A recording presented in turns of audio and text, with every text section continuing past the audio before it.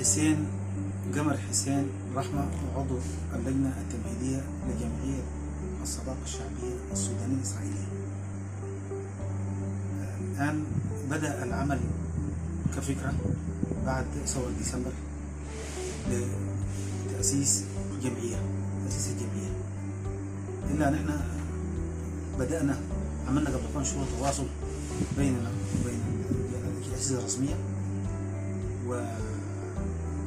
وإن شاء الله أنه يحصل إلقاء للمؤتمر الصحفي الجمعية كانت الصحفي تطرح أهدافها لكل الشعب. السوداني هدفها الرئيسي في الحتة دي؟ هو السلام والتعايش والتسامح والتصالح مع كل شعوب العالم. لأنه ملينا لغة الحرب في كل مواقفنا ووجدت قبول جدا منذ بدأنا الفكرة. طرحناه لأكثر من 90% من الشعب السوداني. وخاصة الشباب. ومشينا في ده بنتمنى أن إحنا نصل لأهدافنا اللي هي أهداف الهدف فيها هدف إنساني جدا. لكل القضايا العالقة بيننا إحنا في الشان السوداني من إشكال سببه كان الحرب. لأنه ملينا أن إحنا الحرب دي ونفتكر إن إحنا لغة السلام هي لغة المستقبل بالنسبة لاجيالنا ولا بد أن نبدا نرسخها للاجيال بشكل سليم ومضبوط باعتبار انه ما في استثناء في التسامح ما بين الشعوب. لأي دولة كانت؟ لا الله ف... فالآن الليلة التصالح والتسامح بين الشعوب وبيأسس لعلاقات قوية جدا ما بين الدول.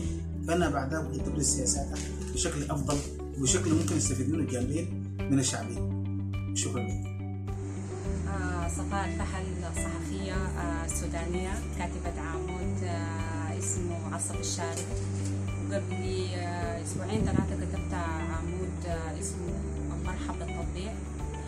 فكتبت إنه نحن مع التطبيع كشعب سوداني وقبل العمود عملت استطلاعات في الشارع السوداني فلقيته بنسبة كبيرة جدا جدا مع التطبيع. وبعد ما نشر العمود هو اتنشر في كذا موقع وفي كذا صحيفة إلكترونية بالإضافة لصحف ورقية. فلقيت إشادة بالعمود وبالتطبيع الاثنين وإنه نسبة كبيرة جدا من الشباب اتصلوا علي وهم مؤيدين التطبيع وجزء كبير جدا من لجان المقاومة. يعني الآن الاستطلاعات اللي عملتها في الشارع جزء كبير جدا منهم هم مع التطبيع. فأنا مع التطبيع ومع السلام. كويس ونتمنى إنه التطبيع ده يكون تطبيع بتاع سلام يكون تطبيع زي ما قالت شعارات الثورة سلام.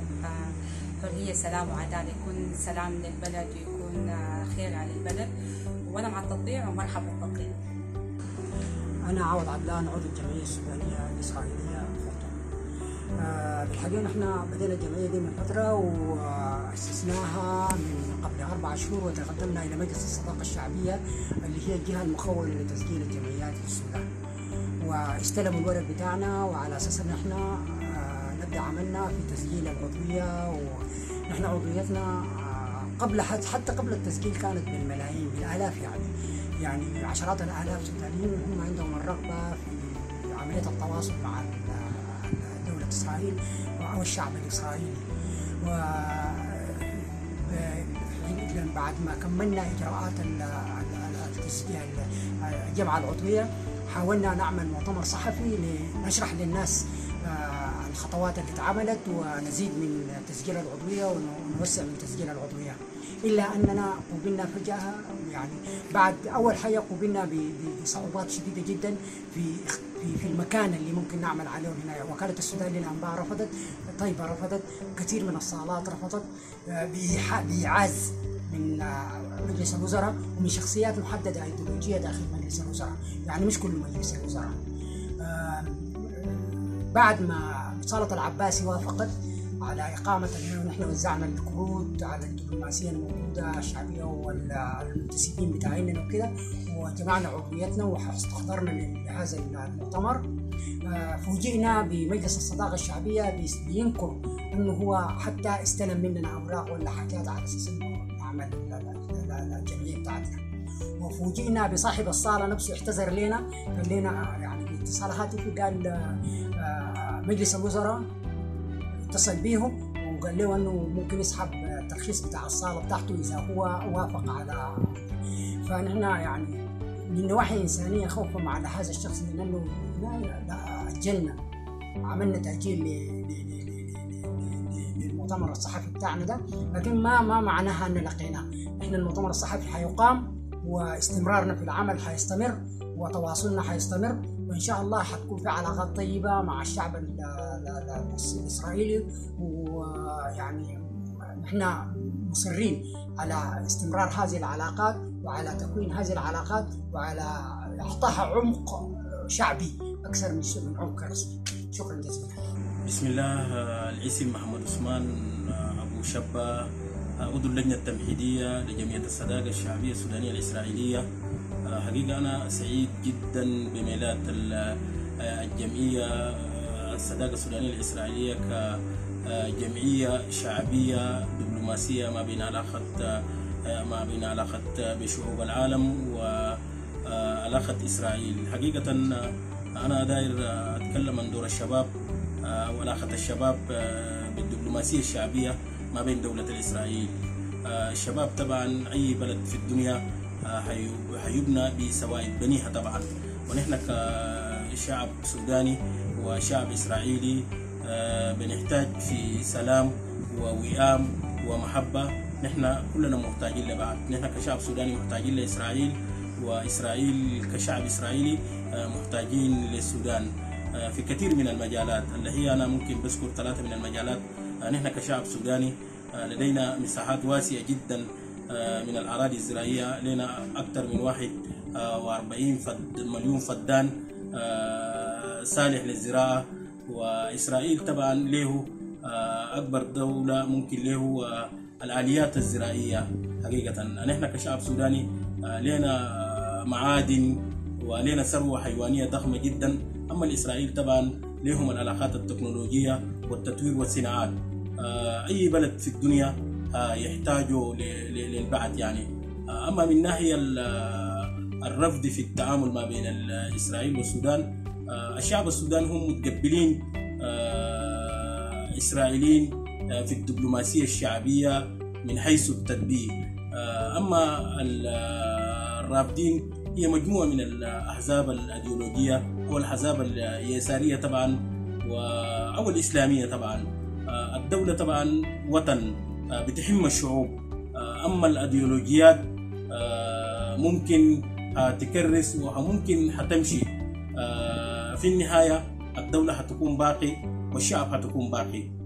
حقيقة نحن يعني عملنا استدلاء بتاع اعراض كثير جدا بالنسبة للشباب. الآن الشباب السوداني شباب مؤهل جدا شباب ذكي جدا متعلمين وخريجين من الجامعات مهندسين دكاترة. نحن دارين نستفيد حتى من الطب الإسرائيلي. قد تكون ممكن إسرائيل كدولة في الشرق الأوسط من أعظم الدول في كل المجالات حتى في مجال الطب. زي ما ذكرت سابقا هي في مجالات الزراعة وفي مجالات التكنولوجيا. الغالبية الشعب السوداني مؤيدين التدبير. ونحن حزينين جدا ولكن في نفس الوقت سعيدين بميلاد بتاع الجمعيه السودانيه الإسرائيلية. حقيقة في موضوع ثاني مهم جدا وأنا كنت داير أذكره اللي هي الموضوع الثقافية من حيث التراث من حيث المسرح. يعني نحن لازم يكون في تبادل بتاع الثقافات التراثيه وممكن دارين ممكن نفتح يعني مراكز ثقافية ممكن يكون تدريس بالنسبة لل اللغة العبريه في السودان. وممكن بالمناسبة الإسرائيليين ممكن تجوا يدرسوا اللغة العربية ويدرسوا العادات والتقاليد واللكنانقات والسلام عليكم. تشهد الساحة السودانية في هذه الأيام حراك واسع فيما يتعلق بموضوع تطبيع العلاقات بين السودان وإسرائيل. وقد رشحت أنباء خلال الأيام الماضية عن لغام ارتقب بين السيد رئيس مجلس السيادة في السودان الرئيس عبد الفتاح البرهان ورئيس الوزراء الإسرائيلي بنيامين نتنياهو في مقبل الأيام وذلك من أجل وضع اتفاق نهائي لموضوع تطبيع العلاقات بين الجانبين وإعلانه رسميا. أيضا شهدت الساحة في الأيام الماضية إعلان لجنة تمهيدية لجمعية الصداقة السودانية الإسرائيلية والتي كان من المفترض أن تدشن أعمالها اليوم السبت في الخرطوم. وتوقف ذلك النشاط بسبب إلغاء السلطات في الخرطوم. لهذا المؤتمر الصحفي الذي كان من المفترض الإعلان فيه عن بدء تدشين هذه الجمعية. وعلى كل فإن هذا الحراك إن دل إنما يدل على أن موضوع تطبيع العلاقات بين الجانبين أصبح أمرا واقعا وأنه مجرد إنها مسألة وقت لكي يتم الإعلان عنه والإعلان عن التطبيع الرسمي للعلاقات بين البلدين.